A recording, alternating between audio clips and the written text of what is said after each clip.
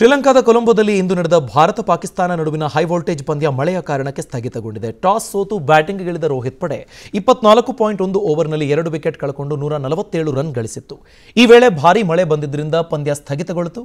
ಬಳಿಕ ರಾತ್ರಿ ಎಂಟು ನಲವತ್ತೈದಕ್ಕೆ ಪಂದ್ಯವನ್ನು ಮೀಸಲು ದಿನವಾದ ನಾಳೆಗೆ ಮುಂದೂಡಿಕೆ ಮಾಡಲಾಗಿದೆ. ಭಾರತ ಇಪ್ಪತ್ನಾಲ್ಕು ಓವರ್ಗಳಿಂದಲೇ ಬ್ಯಾಟಿಂಗ್ ಮುಂದುವರೆಸಲಿದ್ದು ಯಥಾಪ್ರಕಾರ ಐವತ್ತು ಓವರ್ಗಳ ಪಂದ್ಯ ನಡೆಯುತ್ತೆ. ಇನ್ನು ಭಾರತದ ಪರವಾಗಿ ಕ್ಯಾಪ್ಟನ್ ರೋಹಿತ್ ಶರ್ಮಾ ಹಾಗೂ ಶುಭ್ಮಾನ್ ಗಿಲ್ ತಲಾ ಅರ್ಧ ಶತಕ ಸಿಡಿಸಿದ್ದಾರೆ. ಶ್ರೀಲಂಕಾದ ಕೊಲಂಬೋದಲ್ಲಿ ಇಂದು ನಡೆದ ಭಾರತ ಪಾಕಿಸ್ತಾನ ನಡುವಿನ ಹೈ ವೋಲ್ಟೇಜ್ ಪಂದ್ಯ ಮಳೆಯ ಕಾರಣಕ್ಕೆ ಸ್ಥಗಿತಗೊಂಡಿದೆ. ಟಾಸ್ ಸೋತು ಬ್ಯಾಟಿಂಗ್ಗಿಳಿದ ರೋಹಿತ್ ಪಡೆ ಇಪ್ಪತ್ನಾಲ್ಕು ಪಾಯಿಂಟ್ ಒಂದು ಓವರ್ನಲ್ಲಿ ಎರಡು ವಿಕೆಟ್ ಕಳ್ಕೊಂಡು ನೂರ ನಲವತ್ತೇಳು ರನ್ ಗಳಿಸಿತ್ತು.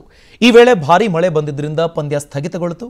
ಬಳಿಕ ರಾತ್ರಿ ಎಂಟು ನಲವತ್ತೈದಕ್ಕೆ ಪಂದ್ಯವನ್ನು ಮೀಸಲು ದಿನವಾದ ನಾಳೆಗೆ ಮುಂದೂಡಿಕೆ ಮಾಡಲಾಗಿದೆ. ಭಾರತ ಇಪ್ಪತ್ನಾಲ್ಕು ಓವರ್ಗಳಿಂದಲೇ ಬ್ಯಾಟಿಂಗ್ ಮುಂದುವರೆಸಲಿದ್ದು, ಯಥಾಪ್ರಕಾರ ಐವತ್ತು ಓವರ್ಗಳ ಪಂದ್ಯ ನಡೆಯುತ್ತೆ. ಇನ್ನು ಭಾರತದ ಪರವಾಗಿ ಕ್ಯಾಪ್ಟನ್ ರೋಹಿತ್ ಶರ್ಮಾ ಹಾಗೂ ಶುಭ್ಮಾನ್ ಗಿಲ್ ತಲಾ ಅರ್ಧ ಶತಕ ಸಿಡಿಸಿದ್ದಾರೆ.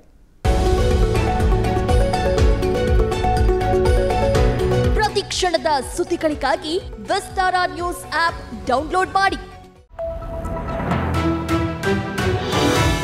ವಿಸ್ತಾರ ನ್ಯೂಸ್ ನಿಖರ ಜನಪರ.